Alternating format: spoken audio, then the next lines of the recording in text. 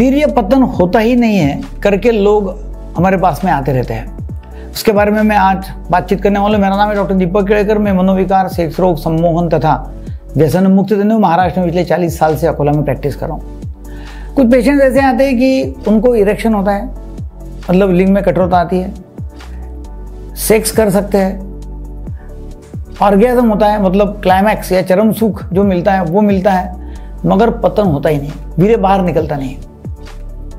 और कुछ लोगों को चरम सुख नहीं मिलता और वीर्य भी बाहर निकलता नहीं। ऐसे दो प्रकार हैं। अब इसमें एक तो हो सकता है कि ये पहले से ऐसी है, उसको बोलते हैं प्राइमरी अनइजैकुलेशन और दूसरा है सेकेंडरी अनइजैकुलेशन मतलब पहले अच्छा था, अभी ऐसा प्रॉब्लम तैयार हो गया है। कुछ लोगों को मास्टरबेशन जब करते हस्तमैथुन, तब तो पतन होता है, मगर सेक्स करने के समय नहीं होता।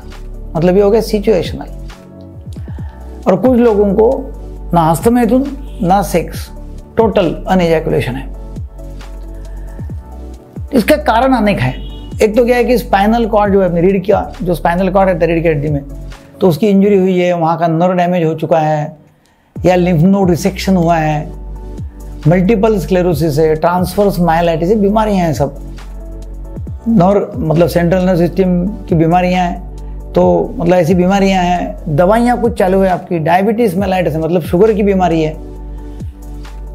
साइकोजेनिक कॉज है और साइकोजेनिक में एंग्जाइटी डर लगता है कि महिला घरोधर हो जाएँगी प्रेग्नेंट हो जाएँगी। स्ट्रेस तनाव, रिश्ते बराबर नहीं है, रिश्ते ठीक नहीं चल रहे ऐसे अनेक शारीरिक और मानसिक कारण है। प्योर मानसिक कारण जो है, वो सौ में से एक या दो लोग आते हैं कि जिनका प्योरली मानसिक कारण है। और वो रीएश्योरेंस समझाना डर कम करना काउंसलिंग करना इससे निकल जाता है।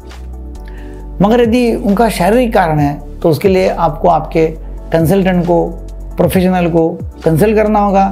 और जो भी कारण निकलता है वो कारण के हिसाब से उसकी दवाई या, या उसका ऑपरेशन करना होगा। अनइजैकुलेशन से लोग परेशान होते कि अनइजैकुलेशन में होता क्या है कि इसमें फिर बच्चा नहीं होता? क्योंकि जब वीर्य बाहर ही निकल नहीं रहा है सेक्स हो रहा है, मगर बच्चा होगा ही नहीं। तो फिर बच्चा होने के लिए फिर लोग परेशान होते कि भाई बच्चा कैसा होगा? वीर्य तैयार हो रहा है वो, मगर बाहर निकलता नहीं है। और कभी कभी ऐसा होता है कि वीर्य तैयार हो रहा है, मगर वो बाहर निकलने के बदले वो अंदर ही चले जाता है। कहाँ? पेशाब के थैले में। उसको बोलते हैं रेट्रोग्रेड इजैकुलेशन तो उस समय पेशाब के टेस्ट कर लेते हैं, सेक्स होने के बाद में। और पेशाब में यदि वीर्य निकल गया, पेशाब में यदि स्पर्म्स शुक्राणु निकले, इसका मतलब वो बाहर निकला था, मगर वो पेशाब के थैली में गया, ऊपर वापस चले गया। तो भी एक देखना पड़ेगा कि भाई रेट्रोग्रेड इजैकुलेशन है क्या, कि अन इजैकुलेशन है। और जो भी कॉजेज मैंने अभी बताया उसका, उसके लिए इन्वेस्टिगेशन करके उसका इलाज करना ज़रूरी है। आपको अच्छा लगा तो जो लोगों को शेयर करो लाइक करो सब्सक्राइब करो। Thank you very much